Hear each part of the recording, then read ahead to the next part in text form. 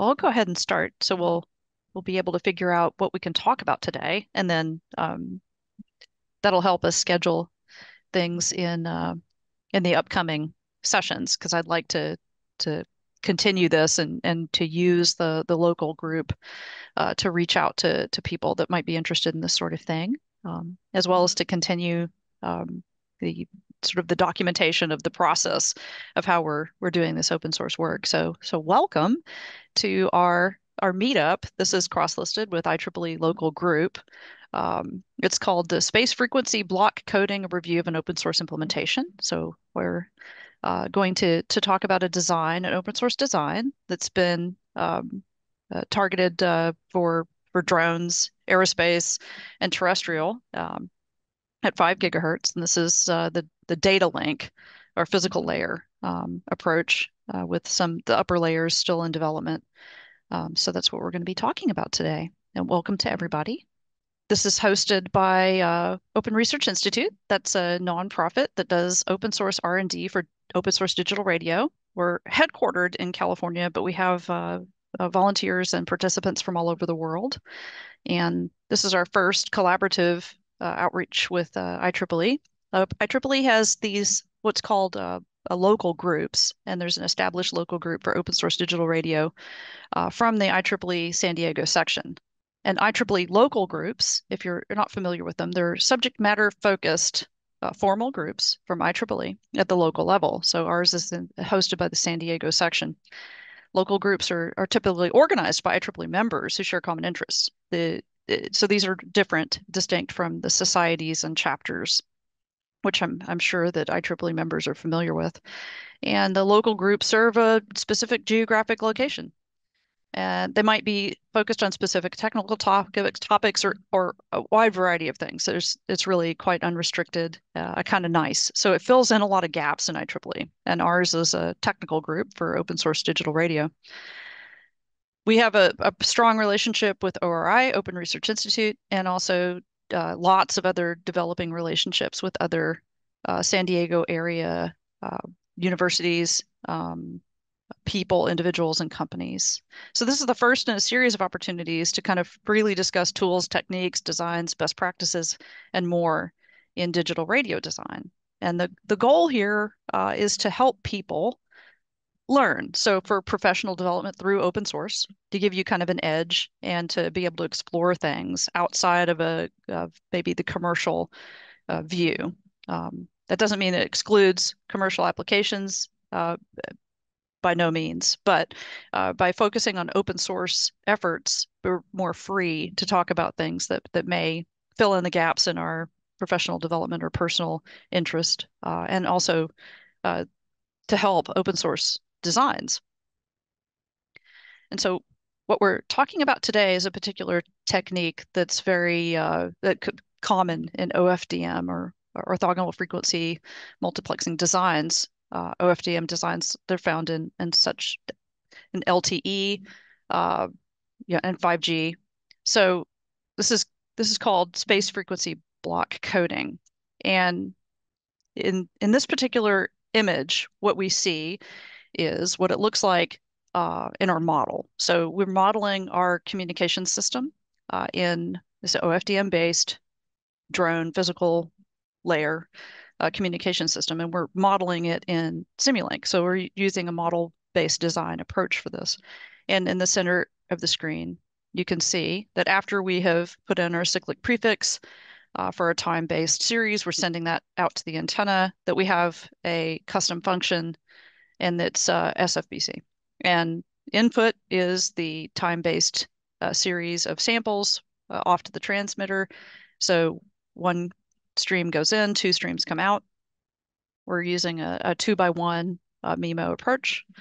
And so you can see the two streams coming out and, and going to the ports in our particular uh, radio frequency IC. Now, if this is all confusing, that's okay. We're going to back up and and make sure that everybody here understands everything about about this particular design. This is the overall architecture. This is where this particular part of the design fits into the to the model um, this model in Simulink is going to be processed with H, with something called HDL coder or hardware descriptive language coder. This is a particular toolbox from MATLAB, and it turns Simulink models into HDL, which is human readable.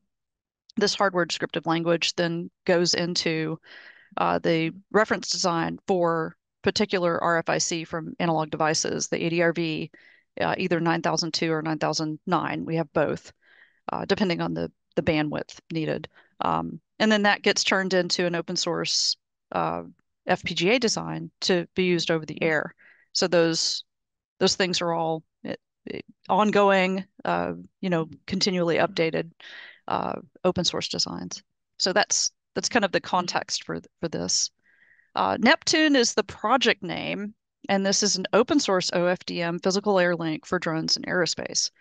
The specifications are open and the designs are also open. So this is a great learning opportunity if you've never gotten gotten to really bite into LTE or see the details or be able to play around with it and change things. Um, you know, outside of a commercial application, then this is this is a great opportunity. And following sort of the open source mindset, our goal here is to to get a lot of people to look at it and to give feedback, not just to learn from it, but to also kind of kind of uh, pay it back and and ask questions that will lead to a better design. There are two specifications, or actually one and a half, really. The main specification is called FlexLink. This is based on LTE. It's uh, authored by Andreas Schwarzinger, Verden Schwartz, with Leonard um, Degez, the project lead for, for Neptune, really pitching in and contributing. Has a subcarrier spacing of approximately 20 kilohertz, uh, several bandwidths are in the specification and quite a bit of configuration. The target frequency band is about 900 megahertz from the, the specification. It's under active development and the revisions can be found at this link. These slides will be in the vTools notice along with the paper. The TrueFlight specification is based on 5G um, and it's heavily leveraged by Andreas. Uh, and then I, I went ahead and, and wrote uh, some specifications and requirements for it to kind of tune it more towards five gigahertz. So it's going to be very simplified compared to uh, FlexLink, and it can be found there. So it's a markdown document at this point. Um, kind of the biggest difference between the FlexLink and, and TrueFlight is that it follows a, a very simplified sort of uh, frame. So what we'll have is uh, uplink and downlink control information, and then the rest of the frame will be either uplink or downlink data. So FlexLink is a lot more complicated than this and more flexible. Additional specifications for other bands are welcome. Why? Uh, because what we want to be able to to provide an OFDM open source uh, communications design, but amateur radio that's we use the amateur bands for this open source work. They have frequency privileges from very low frequency up to 240 gigahertz and honestly beyond. And there's very, very generous transmit power privileges. So one size doesn't fit all, uh, especially with, with OFDM. What, what do we have to present today? It's a, a document. It's uh, the draft document. It's a intended to be an accessible article about space frequency block coding. It's it's in the vTools media section, and then we'll send out um, the document to all the mailing lists uh, after this is, is over. Uh, so it's about SB, SFBC or space frequency block coding in general, and and specifically about our use case and the design decisions on this particular implementation. And these slides will be there too. Um, and the model that we've been that we talk about is a, a or the is a custom MATLAB function. So SFBC is implemented as a, a MATLAB function enclosed in a Simulink block, as you saw in the diagram. And this is part of the overall Simulink model of the transmitter for Neptune. So what we intend to do is to use MATLAB HDL coder to produce an open source HDL code and release that, and then integrate that into the HDL reference design for analog devices to show it working over the air. HDL coder is working up to this point. Uh, so we do an iterative approach to this and ever so often take a step back, run it everything through HDL coder, make sure that everything is HDL coder compatible. And so far, so good. And the use case for Neptune is drones, aerospace, and terrestrial deployments. Um, and for for my my work or my contribution here, it's for five gigahertz and above. If you're familiar with space-time block coding, space frequency block coding is a variant of space-time block coding. This is about the most compact way that I, I can come up with to kind of show you the difference. If you're familiar with space-time block coding, it's on the left. And the difference is uh, space frequency block coding on the right. And you can sort of see, this is from the receiver point of view, but the the left-hand column was from antenna one, the right-hand column is from antenna two. So immediately you can see that for space frequency block coding, we have rearranged our transmit samples and we have the original stream of transmit sa samples from antenna one. So it, it took a while at least for me, to kind of understand the difference between space-time block coding and space frequency block coding. But here it is uh, summarized for you so you can immediately see the difference. So there's a little bit of difference, the, or, the orthogonality of the, the two uh, transmit antennas is, is different. And there's some advantages with space frequency block coding, which is why it was picked for LTE and is why we, we picked it as well. Here's a, from the transmit side, you have your transmit sample stream coming at you. And uh, if you start out with the beginning of your transmit sample stream for your particular symbol uh, for OFDM, you take X1 and you take X2 and you assign them to antenna one and you have the uh, negative conjugate, complex conjugate of sample two assigned to the first slot, time slot on antenna two and the complex conjugate not inverted, so not the inverse of positive of, of sample one assigned to antenna two. Now, all of this, all these backflips are very useful uh, because they help you uh, improve the resiliency of your of your transmit stream. And then yeah, there is a, a small bug here. We're actually picking up X3 and X4, not X1 and X2. But you know, as time goes on, we we just continue this pattern so here's here's a close-up. This is what it looks like currently in our model. And it's just an inline function. Um, and here's what it, it looks like when you're in the workspace for uh, for the project. So it's just a it's just a function. It's it's uh and it's encapsulated in in Simulink. This is what the function actually looks like. So when you click through on that box, you can see that it's a very short amount of code. There's there's not a lot to it here's what it looks like, um, at least to the in the in the simulation. Um, you in order to drop this in there, you we expect about a five microsecond uh, latency. So this is from uh, the point in time where you've put the cyclic prefix in for your OFDM transmitted signal, and when you hit antenna one. So what's in between these two things is the space frequency block code um, function and all of the mechanisms that the function needs to do in order to reorder. There's a little bit of a hit of latency because you need to get both x1 and x2 before you can start doing the mathematical transformations. Then you need to assign it to essentially a two by two uh, grid, and then it goes out the door.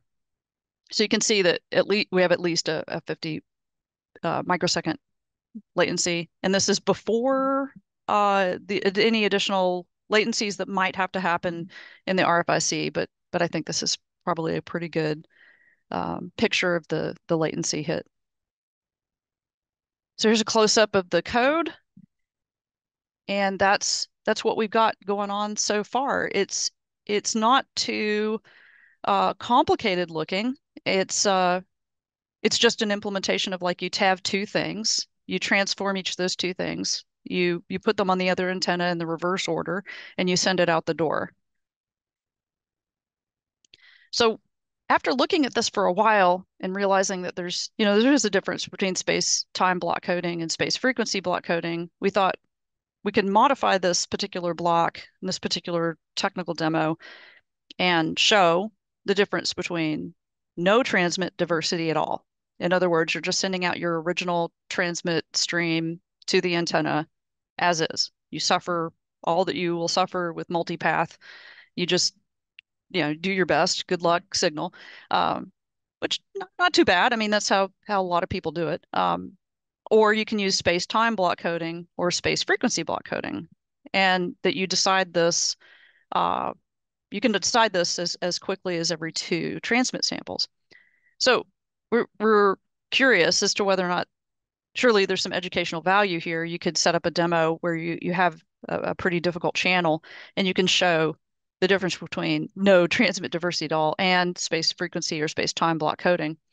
Um, so you have diversity, diversity. So is there any reason to adapt to to kind of like pay attention and to have some sort of closed loop and pick the best transmit diversity uh, strategy? Is there any any like potential signal obfuscation or you know is this uh, is this a way to kind of uh, maybe uh, offer at least a little bit of, of obscurity, security through obscurity for your for your signal. Uh, could you design a receiver that didn't care if you were using space time or space frequency that just searched through and found it? Um, you know, in other words, a flexible receiver architecture. Um, so those are some some questions that we that we had, and and we're starting to to try to look through any sort of literature to see if there's if there's anything there. And that's it. So I'll stop sharing and and answer answer any questions or uh, and also I'd, I'd really like to hear from everybody like what what their uh, kind of what their level of familiarity with this is and and what they'd like to talk about next and any feedback on on any of this and directions uh, to go in uh, so so to sort of, sort of open that I'd like to invite Daniel to to tell us uh, where you're from and how you found out about the the meetup and and what you think, uh, what you have to say. Uh, hi, Michelle. Thank you for uh, inviting me to the meetup. I found out about it through the IEEE. There was a significant uh, concern that I wasn't going to get to the URL uh, for the Zoom meeting, but thank you. The question I have for you on this is for application to fast-moving uh, UAVs, and that would be Doppler shift if the Doppler shift is unknown, I'm sure it applies to satellite as well. If it's, um, you know, if you're doing a ride share, you don't really have control over your, your orbit. So you may not be familiar with, or may not have the orbital parameters and be able to predict in advance the Doppler shift. How do you account for that? Oh, thank you. That's a really good question. Um, so for for particular Doppler shift, uh, I probably defer to to Paul uh, to answer questions about that. Um, the worst Doppler shift for for space, I'm I'm pretty sure is going to be at, at low Earth orbit or the low Earth orbit component of a of a highly elliptical orbit uh, satellite, and I'm reasonably sure that that that amount of Doppler um, may be rivaled by the by some of the terrestrial uh, sort of channel models that we've seen. Um, so this is mentioned in the the five gigahertz uh, work, and that um, when we when we look at Doppler and the the challenges for Doppler, that there there are a couple of models that uh, that cellular uh, terrestrial cellular uses, and one of them is a high speed train, and they have a a particular scenario where it's a 350, um, you know, 350 kilometers per hour train going by you at not a very large distance, and you're required to kind of accommodate that Doppler. So the way that you deal with that um, is is you, you have to make sure that that things like your cyclic prefix are are selected correctly. Um, so that's the guidance that we've that we're going to take uh, from from this for this. Uh, and um, in the FlexLink specification in the GitHub, uh, Doppler is is addressed directly, and the the choices for for all of the uh, numbers are are are gone through. So that's that's something that that we're aware of and and have uh, started to include in in the specifications. Uh, so so the sort of the durability of the signal is is it has to be in the the the actual structure of the the framing and all. So Doppler is a huge concern, um, much more so for for low Earth orbit. So uh, applications that involve uh, highly elliptical orbit, you you have the opportunity to say, okay, we're just going to turn off our system for the the approach to the Earth where it's low altitude, and then the higher altitude sections of that particular uh, orbit we're going to turn back on because it's much slower. The Doppler is much more kind, uh, and then of course for for geo, it's uh, really not not bad at all. Uh, so within like like space applications, the Doppler requirements can vary tremendously. They can be uh, stringent uh, or or or quite benign, depending on the part of the orbit. So I'll pause and let let Paul uh, correct me on on any of this that I've got wrong or add to it. I didn't hear anything wrong, um, but I do have some stuff to add. Um, it's true that if you're in our ride share, you would not have control over the orbit. However, you would still know the orbital parameters. Uh, every non-classified satellite uh, has published orbital parameters for a relatively low resolution model. Uh, you will not get perfect Doppler correction that way, but you'll get very good Doppler correction that way. And uh, you would, even if you had officially uh, more accurate elements, you'd probably still need to be able to compensate for some residual Doppler. So the problem is not a large one. Not you don't have no idea where the satellite is. You don't. Um, you actually have a pretty good idea what the satellite motion is like, and you can do a lot of pre-compensation. Uh, the exception would be for classified payloads. Uh, whether there's any chance of something like this ever showing up on a classified payload, I don't know. But if it did, there'd have to be some negotiation. Uh, if it's a classified payload where they don't want to publish elements, then they probably wouldn't want a payload like this either. Um, so I don't think there's actually uh, any scenario that I can think of where you wouldn't know at least the normal precision Keplerian elements for prediction. Well, thanks. The uh, then maybe on a, a, different tangent. What about uh, using more than two elements in the array? Is that something to which this algorithm can be extended? For example, if you went by a um, a, a 16 by 16 array. Yes, um, space frequency block coding can be extended to um, to larger MIMO or multiple in, multiple output. Uh, so the I'm most I've worked through the math for two by one, which is our particular use case where it's only two transmit antennas and one receive antenna. And I've worked through the math for four transmit antennas and one receive antenna. Uh, but this technique extends upward into um, massive MIMO. Um, I didn't find too many published like uh, implementations of it, uh, but you can see how it extends upward, and this this technique uh, allows you to get some uh, additional resiliency to to defeat uh, some damage from from multipath. So it's not restricted to two by one. That's just our particular use case and and what we're going to uh, prototype and and demonstrate over the air. If one wanted to add circular polarization at the antenna, would that be uh, something that would be invisible to the algorithm, or could it be utilized in the algorithm for additional um, power at recovery at reception and or transmit? It's an interesting question. So my sort of my knee-jerk response is that the polarization at the antenna uh, doesn't break this or matter very much. Uh, but but I want to be very cautious and and just saying that. So I don't know. I can. There's some people that are that are uh, good at this that I can ask to see if there's any way to use this math and then take advantage of of something like uh, polarization diversity. So that's a, just another type of of transmit diversity. Um, so far, like all of the the reading that I've done and the the work that I've done is assumed that the the polarization of the transmit antennas is all the same. Um, but you know, as we know, we we've seen that uh, that polarization diversity can be can give you an advantage. Um, so I don't think it would break it. Um, the I think that that would that would make the receive antenna's job much harder if if it had to uh, deal with uh, different uh, polarizations. If everything was circularly polarized, though, I I don't see I don't see a problem.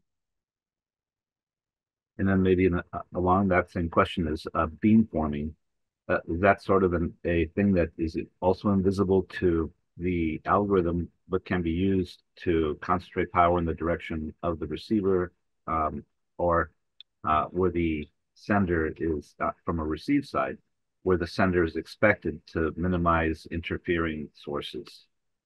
Yeah, in fact, this technique relies on on transmit beamforming as the, that that's that's like that gives you the power uh, to to do this. The on the receiver, what it does is it multiplies the received signal uh, by the transmit beamformer, essentially the equation, and the the reason the way that it gets the information um, in order to be able to to sort of exploit uh, beamforming is from the pilot and reference signals in OFDM.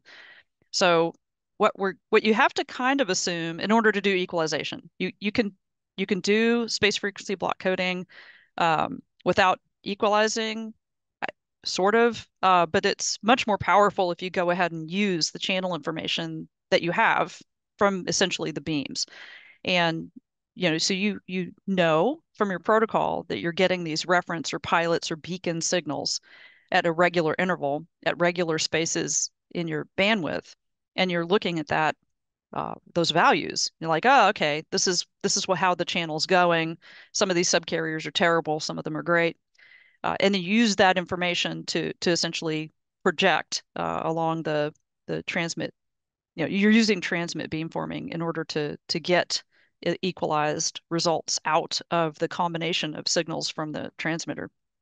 So I, I I would say that it's a resounding yes to your question. That that's exactly what this is doing. Um, and I mean, you can you can limp along and get something out of this in a very simple way by not doing that, by not equalizing your signals. But you'd be kind of it'd be kind of silly not to to go ahead and take advantage of that sort of information. This is this is how it it really shines is is when you when you use that information um, and use transmit beamforming to to extract the the original samples. Thanks, Michelle. Yeah, and it there's a uh, for the paper that's in vTools media section. We try really hard to kind of explain that, uh, and it ended up in sort of the appendix for now, uh, to to kind of walk through the the math. Um, so some if there's any uh, feedback that you can give in terms of like, did this is this clear enough? Is it a good enough explanation? Uh, would be super helpful. Uh, the vTools media section is referred is referenced. I don't know what the URL is for that. Oh, that's the vTools um, meeting announcement. I'll I'll send it back out again. It's the um, IEEE events are organized through something called vTools, which stands for Volunteer Tools, and that's how we like put together um, the the event announcements to go out to things like their information theory chapter or any of the affinity groups or or to the section.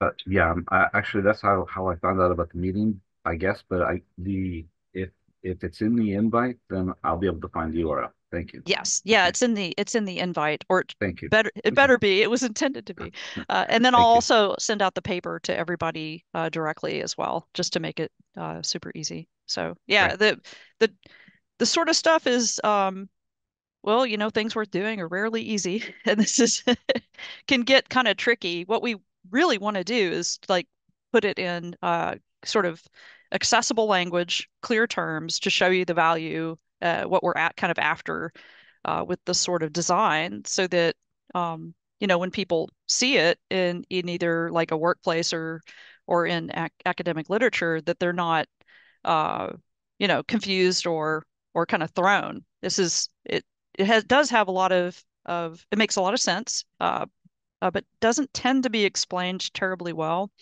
What I what I found when I was trying to work through this in order to implement this part of the design was that space time block coding was explained, and there's a number of uh, like YouTube videos and and some papers, and I read them and I got it, but I was like, okay, well, what's the difference between the space time and the space frequency? And the very compact language and some of the papers kind of threw me. It wasn't clear. It sort at first it sounded like you were uh, you had subcarriers, not the subcarriers from OFDM, but you were using completely different subcarriers at the transmitter. And that's not the case. So in order to prevent anybody else from being confused, we we wanted to make this uh, really well documented and described. So that's kind of what we're after for this, uh, and also to have a working uh, implementation for people to to see and uh, you know take because uh, most of the stuff is is proprietary. It's in cellular systems. Um, you know, so exposing it and kind of making it uh, easily accessible is is the goal. Great. Looking now, there's also something called Neptune. That's is that the next part of this? Yeah, Neptune's the overall project name for the okay. drone uh, project. So Neptune's just the name of the project name. Uh, so all of the OFDM from the creation of the the data. Uh, right now, it's physical link specification. So FlexLink mm-hmm. and and the TrueFlight spec are that the physical layer right now. Um, and obviously, we'll we'll need some higher higher layers in order to actually, uh, you know, make a drone fly around. That would be that would be really great. So yeah, Neptune's just the project name for the for the uh, for this aerospace and drone uh, communications. Thank you very much. Yeah, sure. And then Ken, did you have any any questions or any feedback? I I'd like to thank you for um, making it possible to talk with uh, some of the local cellular folks in San Diego to kind of clear up some confusion and to get some some really good advice about things like the hybrid ARQ. So we'll we'll be implementing that uh, for uh, correcting errors. Uh, so thank you for the introductions, and uh, you have the floor. Oh, I don't have anything in particular. The Doppler discussion that you had for LEO sounded accurate compared to what I remember from the uh, Globalstar days. So, but uh, yeah, just following along here. So, thank you. Yeah, thank you. Uh, I think that based on the the question, um, I think a discussion or or kind of a documentation of, uh, you know, which parts of the specification have to do with with kind of accommodating Doppler would be good. I I'm pretty sure that the earlier specification for FlexLink um, had the walkthrough of like, okay, so we know we have a Doppler uh, essentially a Doppler requirement of of X, you know, meters per second or whatever, and and which part of the OFDM frame is the most uh, like wh what breaks first. Uh, and I thought that was a pr pretty good description. I'm not sure if it's in the most recent uh, version, so so I'm going to take it as an action item to go back and look at that and then uh, surface that as maybe a, a separate discussion and, and make sure it's documented because Doppler is a big deal, especially with drones. And the every couple of months they get faster, and they are you know the fastest ones are are about as fast as a as a high speed train. So you know if we if we want this to work for for drones, it needs to work for all for all of the use cases. All right. Any any other questions or comments? We'll do, we will be doing this again. This is not the only time, uh, but but anything I can answer today? maybe one more question, Michelle. Oh, was sure. there a, was there did I maybe I missed part of the presentation? Um, I understood it to be starting at the top of the hour, but I guess it started before I joined. Is that the case? What happened here? I think we started at about right about 10. You you you joined at the beginning. Because there was a uh, the other participant mentioned uh, AirCube. I don't know. I didn't hear anything about AirCube. Is that Oh, I don't Yes. recall. I don't recall anything about AirCube. Paul, do you recall anything? And no, the the the participant that you asked the question, the other the other audience member, um, maybe Ken had mentioned something about a prior discussion that was had. Um, I think he commented about uh, how the the your your question about uh, um, a Doppler related to to Globalstar uh, but that's all I heard. Oh, I see. Okay. Yeah, I was just going based off prior, my own personal prior experience. I had a Thanks. previous, uh, yeah, previous work in that area. So, Okay. Yeah, you didn't you didn't miss anything at all. Oh, It- great. yeah. I would not want that to happen. Cool. Okay, so please uh, check out the uh, the article and suggest improvements. We uh, we actively seek uh, comment and critique, um, and appreciate any improvements that we can kind of make in order to explain this. Um, any suggestions for for like future work or uh, any projects in San Diego that uh, that might want to to present uh, through the this local group, um, and then we'll we'll we'll publish everything and and just keep at it. So uh, thank you everybody for for making this meeting uh, very successful, and uh, look forward to the next one. Looking forward to it as well. Thanks, Michelle. You bet.